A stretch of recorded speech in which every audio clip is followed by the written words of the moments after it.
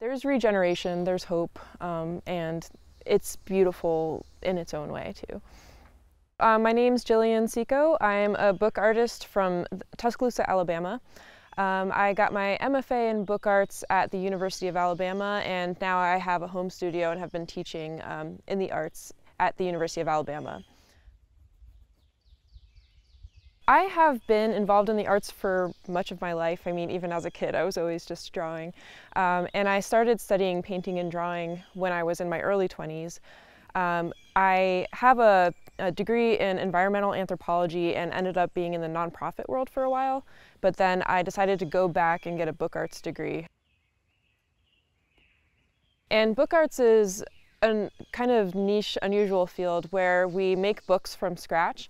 Um, so I make the paper for the books, I bind the books by hand, and I also do letterpress printing and other types of printmaking techniques. And so I was taking some um, just like undergraduate classes at a local college.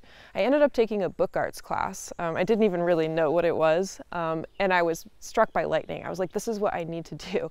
Um, I had a whole night where I was up all night just thinking about paper making and sort of realized that this was something that I needed to pursue more seriously. And for me, I'm really interested in the, the materials and um, I've like incorporated chanterelle mushroom spores into my books, um, ash from like trees that had been struck by lightning, and I've like buried linen rag underneath trees to what's called ret. It's like a decomposition process. Um, and like digging up that linen um, it was like completely covered in mycelium.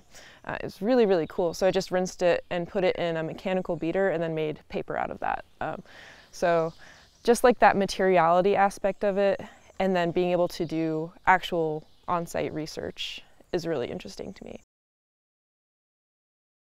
So it's very important for me as an artist and as an environmental artist to uh, have a leave no trace ethic. And that's beyond just the rules and the laws of the national parks. Um, I don't want to take anything from the parks that um, that will contribute to like the cycle of nature. I try to source materials that are invasive, um, materials like the linen cloth that I found in the antique store that are sort of material con materially connected to the site where I'm working, but not specifically taken from that spot.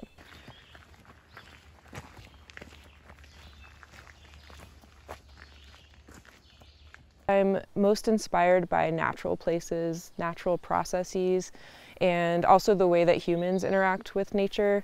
So coming from cultural anthropology, I'm really interested in the culture of natural places as well as the science. Um, so I love um, collaborating with scientists, collaborating with um, people who are studying the culture or who have some experience with the history of a place. And I also tend to read a lot around the subjects, not just the scientific literature, but also historical things. And, um, and I've been talking to people on trails, and that has been very inspiring to me too. Um, just people who have walked by me as I was drawing on Limberlost, talking about um, their experience from like 25, 30 years ago being on this same trail. Um, so being in a place and spending like extended time in places and exploring sort of the small things um, really inspires me, I think, as an artist. I'm working on a project called Hemlock, and it's a long-term book project that I'm not going to finish right after this residency. Um, I usually make editions of what's called artist books, and an artist book is the book is the object of art in itself. Um, so um, instead of it being like an illustrated book or something like that, it is an object of art. Um, and so this book is going to be about the hemlock trees and the hemlock woolly adelgid, which is an invasive insect that has been threatening um, the trees all across the east coast. The invasive insect hemlock woolly adelgid is from Japan originally and um, it's killed off about 95% of the trees in Shenandoah. Um, but there's also a spot in Alabama, which is the southernmost reach of the trees, um, that has not been affected by the adelgid yet. So I know Limberlost Trail exists because Addie Pollock um, purchased the hemlock trees um, to save them from logging. And now um, if we walk around Limberlost Trail, you'll see that the majority of them have died. And so you'll see old growth hemlocks that are now stumps or logs on the ground. Um, so it's been very interesting to be here and sort of research the site as a counterpoint to what I see in Alabama. People that I've talked to have been sort of shying away from uh, talking about the dead hemlocks, and um, people are always like, oh, but there's these flowers and there's these live things and there's these birds, and that's wonderful and beautiful but I've found some beauty in the actual dead trees that are on these trails. And just like examining them and the way that they decompose um, is really, really interesting to me. And, uh, you know, it's sad, but there's also this cycle of life that's happening. And there's lots of live hemlocks that are being treated in the park as well. So um, even though there's not really old growth hemlocks as much in the park anymore, um, there will be so I hope to communicate both a feeling or like a sensation of connectivity with the place.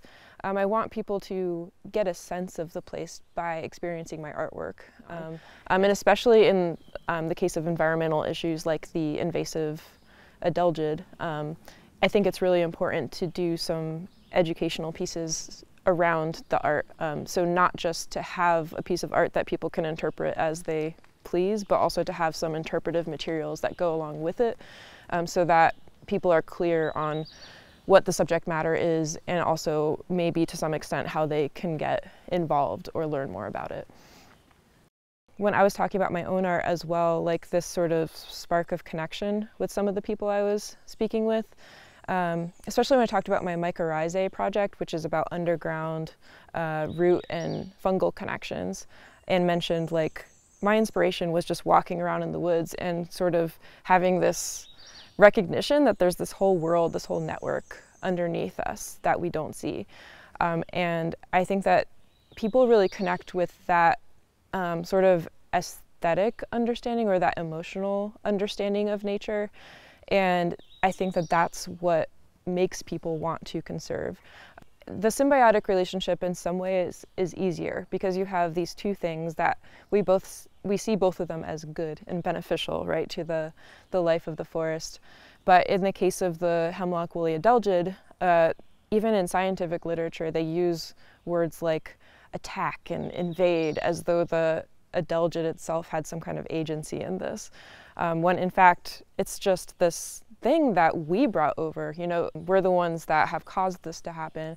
And so I think the important thing for me is to emphasize that this is human caused ecological change, um, not that the adelgid itself is like evil or, or nasty. And, and, you know, in the end, there is a lot of change that we're causing, but that there is some kind of like hope and regeneration, and that there's lots of people um, and could be even more people um, behind the effort to to save the forest and conserve what we have. I have learned an amazing amount here and completely reframed sort of what I was going to do with this book. One thing I learned is, again, that hemlocks decompose in a really particular and interesting way.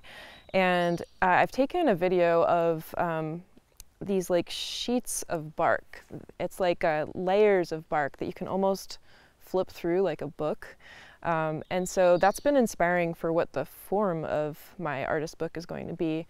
Um, and then I was able to go out with uh, biologist Dale Meyerhofer, who's been working in the park with hemlocks for 15 years, um, and learn how to treat hemlock trees with imidacloprid, um, which is a systemic pesticide.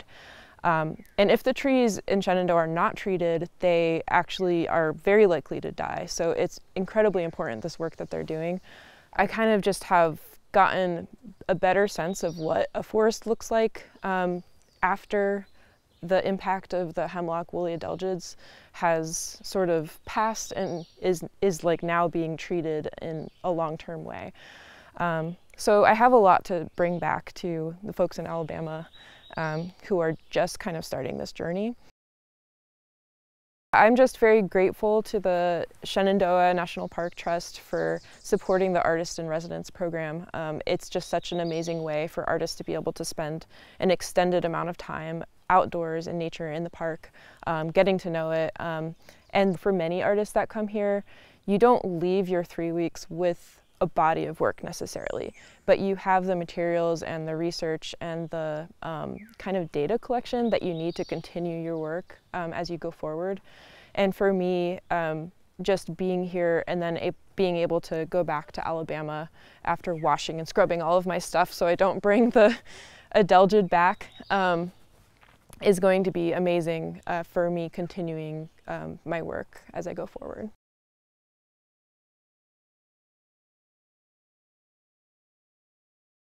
Hi, I'm Jessica Cocciolone, and I am the Executive Director of the Shenandoah National Park Trust, and we are proud to be the philanthropic partner of the Shenandoah National Park.